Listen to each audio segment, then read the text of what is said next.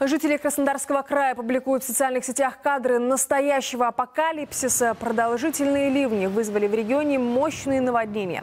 Основной удар на себя принял Туапсе. На видео улицы больше похожи на реки. Потоками воды буквально сносят припаркованные автомобили. Затопленные дома и две железнодорожные станции. За повреждение коммуникации прекращена подача воды и газа. Уже известно об одной погибшей. Введен режим чрезвычайного положения.